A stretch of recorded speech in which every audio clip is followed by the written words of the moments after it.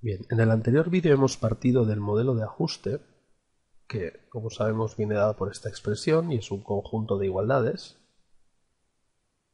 Hemos visto que esta primera parte, x por b, nos proporcionaba el vector de estimaciones del modelo al que llamamos y con circunflejo, y que esta parte de aquí, llamada e, son los residuos. Los residuos del modelo. Bien, entonces lo que hemos hecho ha sido expresar este i con circunflejo, estas estimaciones, de otra forma, de esta manera, x por b, y sustituyendo b por su valor, como vamos a hacer ahora, que es x traspuesta por x a la menos 1 por x traspuesta por y, hemos encontrado que aquí hay una matriz a la que llamamos matriz H, y que esta matriz H, cuando multiplica el vector de valores reales de la variable dependiente, nos proporciona el vector de las estimaciones y que se llama matriz hat, hat matrix, y que tiene una serie de propiedades que vamos a resumir aquí. La primera es que se trata de una matriz cuadrada, hemos visto que es una matriz de dimensión n por n, segundo que es una matriz simétrica, es decir, la inversa, su traspuesta coincide con ella misma, h traspuesta es igual a h, la tercera propiedad es que es una matriz idempotente, es decir, que h por h coincide con h. Consecuencia de la segunda y la tercera es la cuarta propiedad, que dice que es una matriz semidefinida positiva. La quinta propiedad decía que la traza de la matriz H es igual a K más 1. Y la sexta, que no hemos demostrado, dice que el rango de la matriz H es igual a K más 1. Bien, pues ahora apoyándonos en estas propiedades que hemos demostrado para la matriz H, vamos a estudiar otra matriz que también aparece en nuestro modelo y vamos a estudiar sus propiedades. Y en concreto se trata de la matriz que resulta de despejar en el modelo de ajuste el vector de los residuos. Y en este modelo de ajuste despejamos el vector de los residuos e, obtenemos que el vector de los residuos e es igual a i menos x por b, o si queremos i menos i estimado, o lo que es lo mismo, i menos, y en lugar de i estimado podemos escribir h por i, y ahora, sacando factor común i, podemos escribir la identidad menos h por i. Teniendo en cuenta que esta identidad de aquí tiene que ser la identidad de tamaño n para que la podamos restar de esta matriz h, que como hemos visto es una matriz cuadrada y no hemos escrito aquí, pero cuya dimensión es n por n. Bien, pues esta matriz i menos h, que aparece en esta expresión, también es una matriz muy importante a la que vamos a llamar matriz m. Y lo que vamos a hacer en este vídeo es bueno, pues eh, ver cuáles son las propiedades de esta matriz M basándonos en las propiedades que tiene la matriz H y como veremos son unas propiedades muy muy parecidas a las anteriores. Bueno, pues comencemos por ver, por comprobar que la matriz H, perdón, que la matriz M es una matriz cuadrada.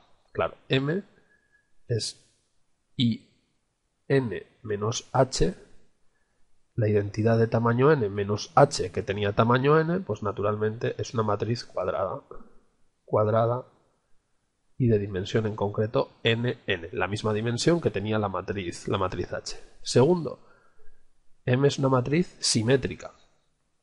En concreto m traspuesta será i menos h, no voy a escribir el subíndice, siempre es n menos h traspuesta, en este caso, la traspuesta de una resta es igual que la resta de las traspuestas, por lo tanto esto es la identidad traspuesta menos h traspuesta. Obviamente la identidad traspuesta es la identidad, ya que es simétrica, y como h traspuesta es igual a h, pues esto es i menos h que coincide con m.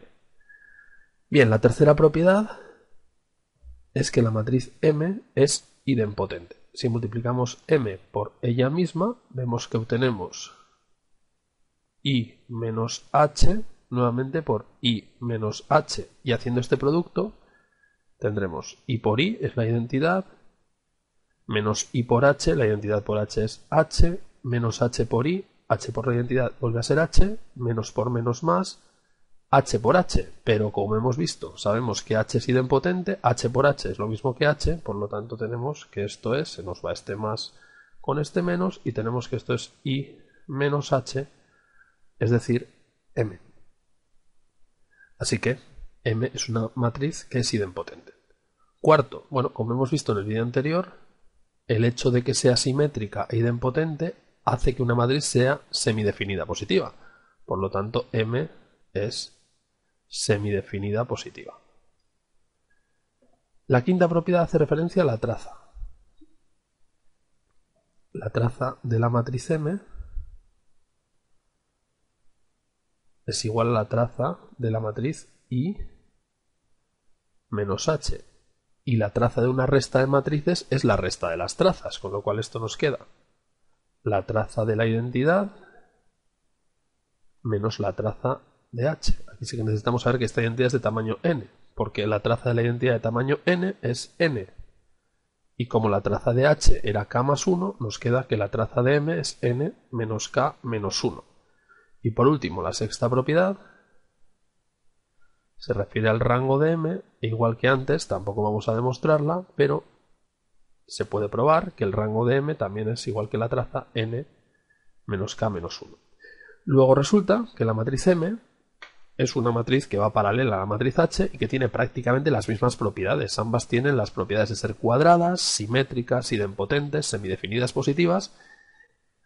En ambas coinciden rango y traza. En el caso de H, el rango y la traza son k más 1 y en el caso de M, el rango y la traza son n menos k menos 1. Finalmente vamos a comprobar algunas propiedades conjuntas de la pareja H y M. Y son las siguientes.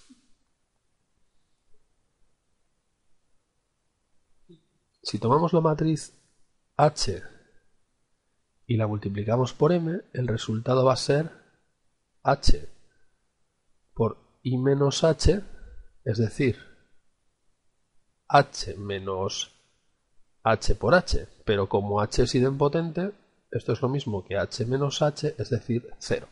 Siempre que nos encontremos, por tanto, una expresión que contenga un producto hm, si está multiplicando lo demás, bueno, pues sabremos que eso es 0. Lo mismo ocurre con el producto mh. mh sería i menos h por h, y por tanto la identidad por h es h, h por h es h al cuadrado, nuevamente esto es igual a 0. Eh, otra propiedad interesante es esta, h por x es igual a, recordemos que la expresión para h era x por x traspuesta por x a la menos 1 por x traspuesta, esto es h, luego si lo multiplicamos por h, por x, perdón, resulta que aquí tenemos una matriz multiplicada por su inversa, esto es la identidad y el resultado es x. Luego, siempre que nos encontremos con algo de la forma hx, lo podemos sustituir directamente por x. Y finalmente, si nos encontramos con algo de la forma m por x, pues m por x, al ser m igual a i menos h, lo podemos sustituir i menos h por x, y haciendo el producto será x menos h por x, pero como acabamos de ver, h por x es igual a x, con lo cual esta h por x la podemos sustituir por x y obtenemos que x menos x es igual a 0.